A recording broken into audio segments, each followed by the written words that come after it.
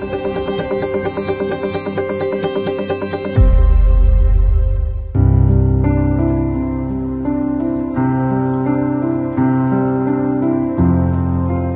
mình đã đề cập ở video trước, bộ môn theo nổ là bộ môn kích thích sự sáng tạo của tất cả mọi người mà chúng ta không cần phải theo một quy tắc nào cả. Tương tự như vậy, với những họa tiết chúng ta theo thì các bạn có thể dùng ngay uh, cái óc sáng tạo của mình để chúng ta có thể tạo ra những bức theo theo ý thích của chúng ta. Có rất nhiều những cách chúng ta có thể in mẫu lên trên vải và sau đây mình sẽ giới thiệu với các bạn ba cách chuyển mẫu lên trên vải sao cho rõ ràng nhất để các bạn có thể có những họa tiết để chúng ta có thể theo được rồi. Cách đầu tiên, nếu như bạn nào tự tin về khả năng hội họa của mình thì có thể dùng bút và vẽ trực tiếp lên trên mặt vải để chúng ta có thể thêu. À, các cái loại bút như thế này các bạn phải dùng rất nhiều loại bút khác nhau ví dụ như bút chì bút dạ bút mực hay những loại bút có mực đặc biệt khi gặp mà nước nó sẽ tan màu ra hoặc là những gặp mà nhiệt độ cao màu mực sẽ tự bay đi. Các bạn chỉ cần đơn giản là vẽ lên trên mặt vải để chúng ta có hoa tiết để tiêu thôi. Nhưng các bạn hãy có một cái lưu ý như sau. À, các bạn hãy để ý cái hiệu ứng lật gương ở trên này nhé ví dụ như chúng ta vẽ chữ chẳng hạn, muốn theo chữ, thì chúng ta sẽ phải vẽ cái ờ, hoa tiết chữ ở đây.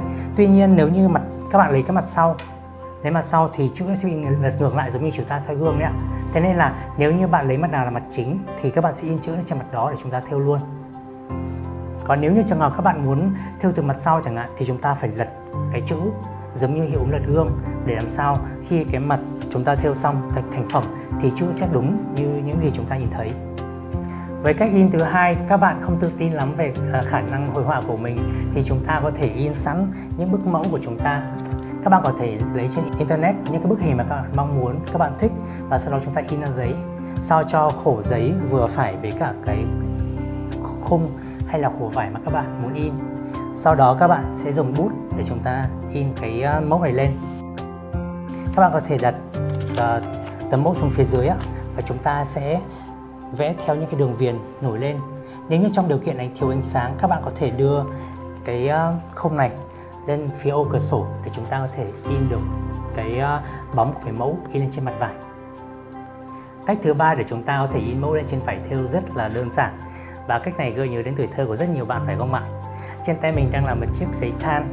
Đó thì với cái giấy than này các bạn sẽ sử dụng như sau. Chúng ta đặt khung có mặt vải ở phía dưới á.